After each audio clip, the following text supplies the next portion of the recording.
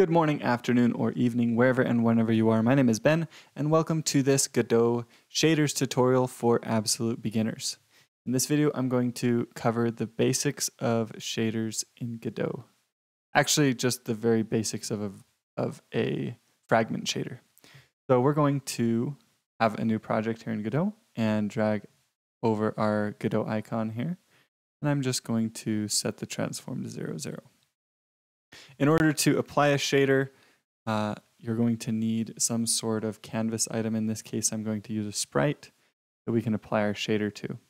Now we'll save this scene as icon, come over here to the right, and we'll come to the material. We'll do a new shader material. And then from here, we'll do a new, well, we need to click on it actually. And then from here, we'll do a new shader. And it can be called icon GD shader. That's fine. That's what Godot wants to call it. And we can open up this script by double clicking on it, this shader script. And that opens up this little shader window. Now Godot's shaders will automatically update to reflect what is going on. So we can easily see how our shader is working right here in the editor. You can see right away we have the shader type. This is a canvas item shader. There's different types of shaders for lighting and such, but this is the one that we'll use for our sprite here. And there's this one function inside of our shader called fragment. And what this does, if you imagine in our shader here, every single pixel on this texture can be modified inside of this fragment function. So when this shader is run, what happens is the shader code, the shader program runs through each individual pixel of our image and applies this code to that pixel. And that allows us to do a lot of fancy things. Uh, so first, let's get the color of the current pixel. Well, let's just output a color. So what we'll do is we'll say color. And this is the output of this function. We'll set it equal to vec 4 and then we'll just do one, one, one, and one for our color, and then put a semicolon at the end. So Godot's shader language is uh, a little bit more strict than GD script. So we've got to have the semicolon here. And what this does is it just says for every single pixel, output white. And you can see it's updated and now our shader is just completely white right here. Um, but if we were to comment this out like this, then it would go back to what it was before. Now let's say we wanted to make a shader for a character that flashed white. That's a pretty common uh, problem in game development.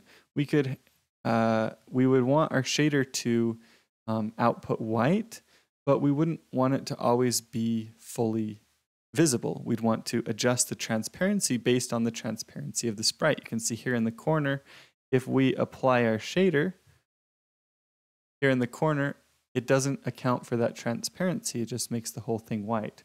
So what we need to be able to do is get the color of the pixel that we're on. And we can do that like this. We can say vec or input color, and we'll set this equal to texture texture uppercase, all like that, and UV. And so what that does is it it grabs the color from this texture right here at this position of the texture. So the UV is like an XY coordinate position. And so that gives us the input color for each individual pixel, right? And then we can put a semicolon at the end here. And once we have our input color, um, you could make a shader that just output that input color. So it just gets the input and then it outputs it, right? And we end up with the exact same sprite we had to begin with because we're just going through every single pixel. We're getting the color of that pixel and then we're outputting that same color back out. Okay, that makes sense, hopefully. Now what we can do is we can take our white color here and instead of doing an alpha value of 1, we can actually get the alpha value of our input color. So in order to do that, we can pass in input color dot a for alpha. Now what happens is it outputs white, but it takes into account the alpha value of whatever the pixels were existing. And now we've made ourselves a shader that flashes white. We could mess with this shader a little bit more. Say we wanted to output some sort of kind of like a monochrome color. We could pass in the red value, so input color dot red um, into our output, and now we're getting um, what we're getting is a maxed out blue value, a maxed out green value, and then uh, not very much red because our, our, our Godot logo doesn't actually have a lot of red in it, right? Um, there's very little red in this logo here. It's mostly blues and greens. And so that's why when that's why when we do this, we don't get very much information here. Uh, we do get the face though. We could take, so we've got our red, green, blue values, right? We could take our green value and put color dot green, and now we're maxing out the blue value, but we're passing in the red and the green value, and this kind of gives us a monochrome tone here.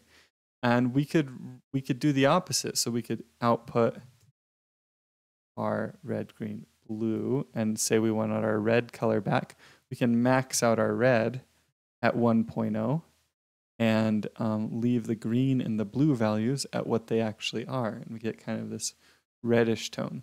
So you can already see we're able to manipulate the values of each individual pixel just by changing the output color um, and using our input color as uh, as some sort of a rep a starting point or a reference. And a lot of the time that's what shaders do. So what they'll do is they'll they'll get the color that was there before, they'll perform some operations on that color, manipulate it in some way, and then they'll spit back out an output color.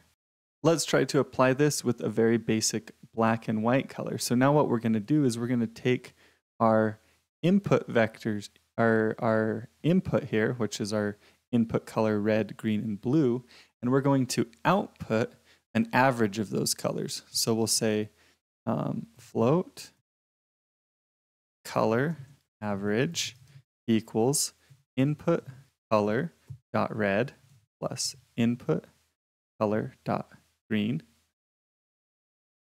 plus input color dot blue. And then we'll divide them all by 3. And we'll need to use 3.0 here. We can't just use the number 3 because Godot is a little bit more strict. Then for all of these, we can just pass in our color average like this. Okay, so we're taking the average of all of the colors and then we're passing it in to our output color. And we've made a very simple black and white shader. Now this method for getting um, black and white is not 100% accurate. And part of that is because um, blue, for example, tends to be a lot darker. And so this doesn't really account for the different values of red, green, and blue, how they each have different values. But this is a very good starting point. And again, you can see how we can very quickly perform some operations on a basic, on the input color that we get, and then spit out a new output color and create some sort of shader using that. Lastly, I want to put a simple control statement in here um, to show that you can do that. So what we'll do is We'll create an output color here. So we'll say vec for output output color and we'll set this equal to this value that we were doing before. And then we'll just do output color here. Output color. And it's going to be exactly the same as it was before, right? But now what we're going to do is a simple if statement. So we'll say if output color dot let's see, if output color dot red is greater than uh, point zero point eight and output color dot green red green red green blue. I, I forget the order. Let's see. Is greater than 0.8 and output color dot blue is greater than 0.8. I'm to put parentheses around this because I think you have to. And then we also need brackets. Again, this is different from GDScript, so keep that in mind as you're writing your shader. Then we can say output color dot alpha equals 0.0. So the ranges on our colors are going to be from one from 0.0 to 1.0. 1.0 being the maximum range, right? We'll put it. Um, I'm going to wait to put the semicolon here because I want you to try and guess what this code is going to do.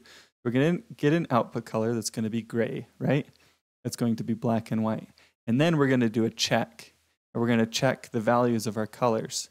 And once that check is done, we're going to alter the output color if those values are all greater than a certain amount. So try and guess what is going to happen when I actually apply this semicolon. And if you can't figure it out, that's okay, but it's good to just try and then see how close you were. Okay, so we're to do it now. We'll put the semicolon here. And that is very strange. So what happened is uh, our our code here, what it does is it checks to see if our color is greater, if our color, the red, green, and blue values on our color are greater than 0.8. And if they are, it makes the color transparent. And remember, this is being applied to each individual pixel. So when we make it transparent, when we set the alpha to zero here, it's only on the pixel where the colors are all greater than 0.8, which means white essentially. So what we've done is we've made our white values inside of this image transparent. We could also do something like just make them red. So we could say output color equals, and then we'll just do vec4 uh, 1.0, 0, 0.0, 0.0, and 1.0. And this is red, right? It's maxed in the red value. So we changed all of the white values to red, and we could adjust this, these parameters here to make it more lenient. So we could do 7, right? Instead of uh, 8, and that allows us to grab more of those lighter values. And there we go. I mean, that's that's the very basics of shaders. I'm not going to go into it anymore, but I was I had a student ask about shaders and how shaders work inside of Godot, and I couldn't actually find. They they wanted me to recommend a video. I couldn't actually find a basic video that showed uh, something like this, like the very basics of using the fragment function inside of a canvas item shader and explaining that out. So I thought I'd make one. Hopefully this video is helpful to you. Thank you so much for watching it. Be sure to like and subscribe to the channel if you haven't already, and I will see you all in the next video.